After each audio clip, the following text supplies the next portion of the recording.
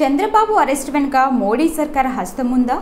దేశవ్యాప్తంగా చర్చనీయాంశమైన చంద్రబాబు అరెస్టుపై కేంద్రం ఎందుకు మౌనంగా ఉంది? అసలు టీడీపీ విషయంలో బీజేపీ పెద్దలు ఎందుకు మౌనం వహిస్తున్నారు?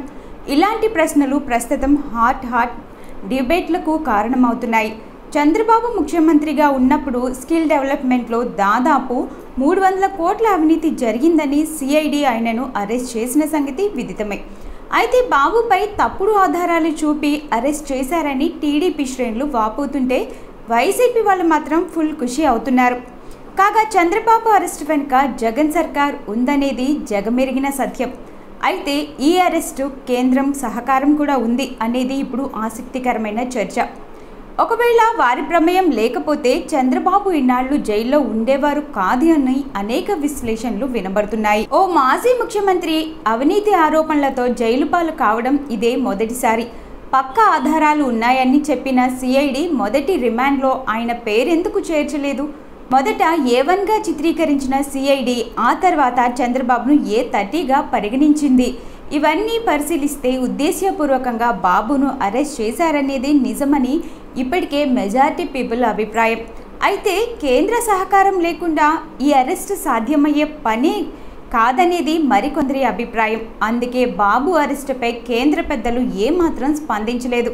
చంద్రబాబుని జగన్తో కలిసి ఇరికించారు అని చెప్పడానికి ఇంతకన్నా బిగ్ ప్రూఫ్ ఏం కావాలి అని అందరిలో వస్తున్న ప్రశ్న.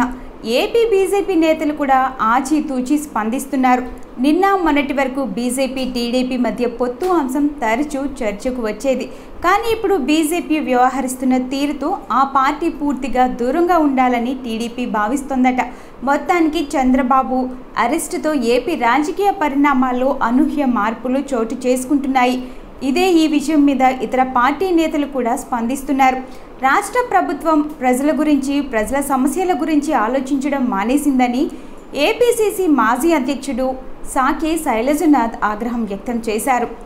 ఆయన మీడియాతో మాట్లాడుతూ గత పదిహేను రోజులుగా ప్రతిపక్ష నాయకుడు చంద్రబాబుని వేధించడం తప్ప ఇంకేమీ లేదన్నారు. కక్షపూరిత రాజకీయాలు పక్కన పెట్టి రైతులు ప్రజల గురించి ఆలోచించాలని ప్రభుత్వానికి హితవు పలికారు. శాంతి భద్రతల గురించి ఎంత తక్కువ మాట్లాడితే అంత మంచిదని ఆయన అన్నారు. పోలీస్ యంత్రాంగం యావత్తు అధికార పార్టీ సేవలో ఉందని మండిపడ్డారు. సాక్షాత్తు తిరుమల కొండపై బస్సు కూడా దొంగతనం చేశారని అన్నారు. రాయలసీమ ప్రాంతం గురించి ఒక్క ప్రజాప్రతినిధి కూడా మాట్లాడడం లేదని అన్నారు. మా రాజధాని మాకు కావాలి రాయలసీమలో రాజధాని పెట్టాలని డిమాండ్ చేశారు. బాబు అరెస్ట్ బీజేపీకి తెలియకుండా జరగదని సాకి శైలజ్నాథ్ వ్యాఖ్యలు చేశారు.